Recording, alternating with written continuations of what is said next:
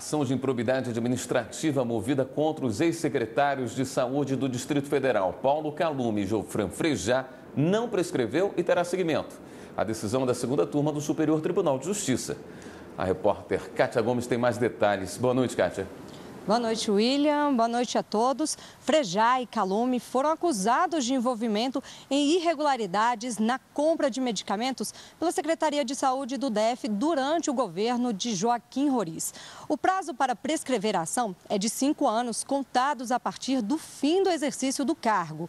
Os ex-secretários deixaram cargo em 2002 e a ação foi proposta pelo Ministério Público em 2003. Porém, como os autos foram remetidos para o Tribunal de Justiça do DF, os réus só foram citados em 2011.